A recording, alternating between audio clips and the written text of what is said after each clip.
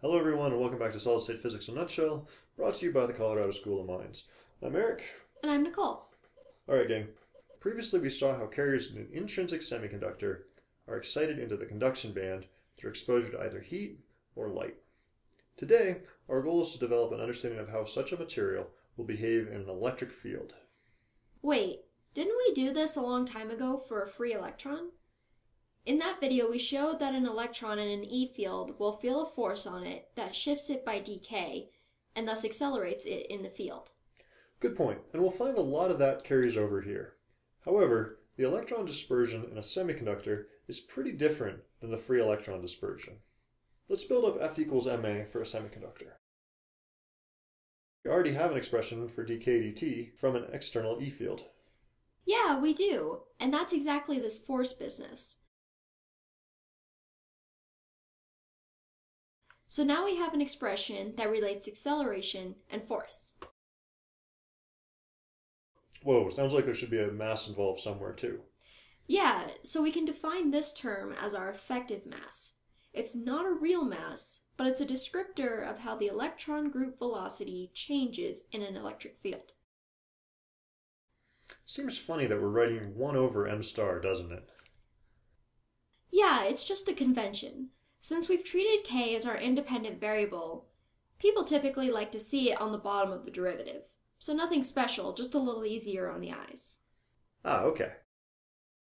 So let's go back to the free electron model for a moment.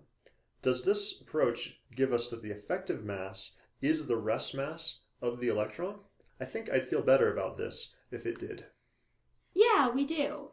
In that case, our dispersion relationship was the following. Then when we calculate the second derivative, we just get ME. But give us a minute and we'll do some simplifying.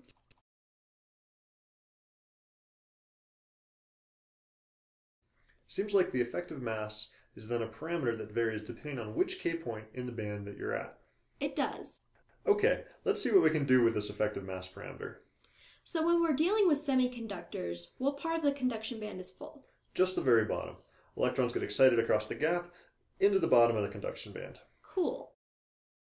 And while the whole band is definitely not a parabola, we could probably fit one to the bottom part of the band where there are electrons. Like this.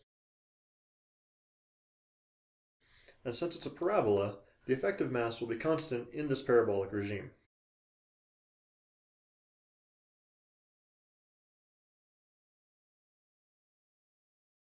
Maybe an example would help see this.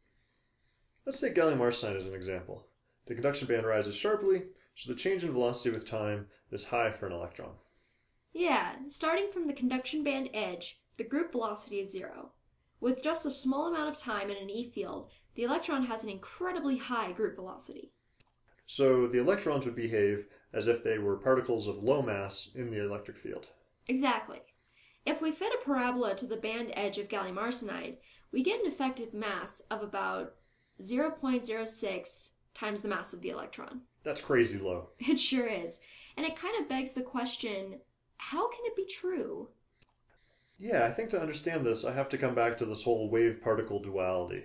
Because we're not talking about a physical electron moving, right? Instead, we're talking about the group velocity of a wave moving.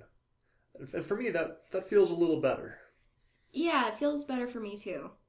Okay, so we can parameterize the conduction band electrons in terms of a mass. But can we bring this back to conductivity? Yeah. Remember we developed the expression for conductivity for the free parabolic electron.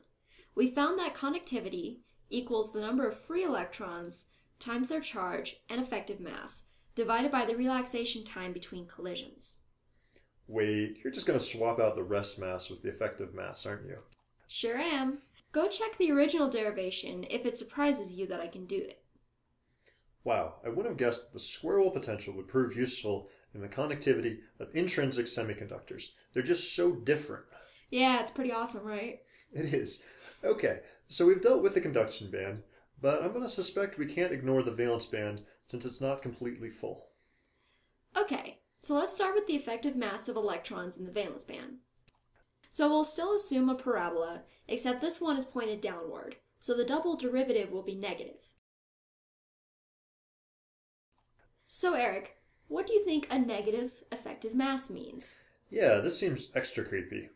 because now the negative mass means that the E field shifts the electrons like this. So the electrons have a net momentum, dk, parallel to the external E field, whereas in the conduction band, their momentum was antiparallel. Or you could view this as the whole bubble acts like it has positive charge and moves in the direction you would expect, given the applied E field.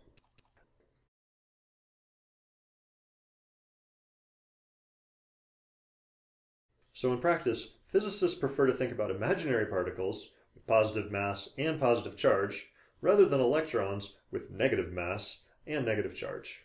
Both are pretty unsettling.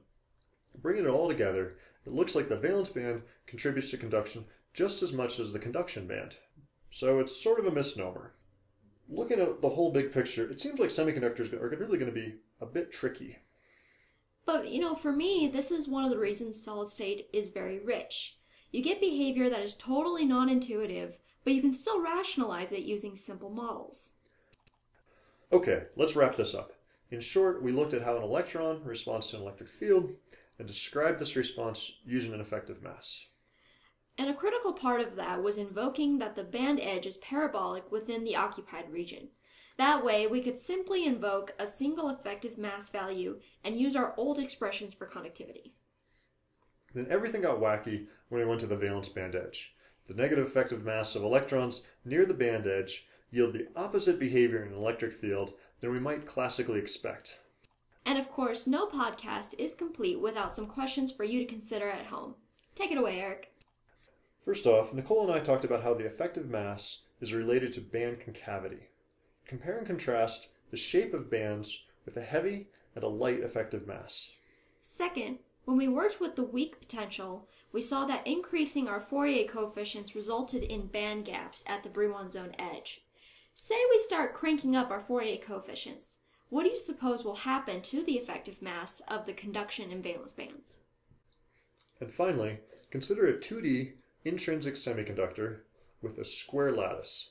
Sketch the k space for the conduction and valence bands at some finite t. Then apply an E field pointing to the left and describe how these states shift over time. So this wraps up our discussion on electrical conductivity in intrinsic semiconductors. In the next video, Eric and I will develop an expression for the carrier concentration in intrinsic semiconductors. Thanks for watching Solid State Physics in a Nutshell. See you next time.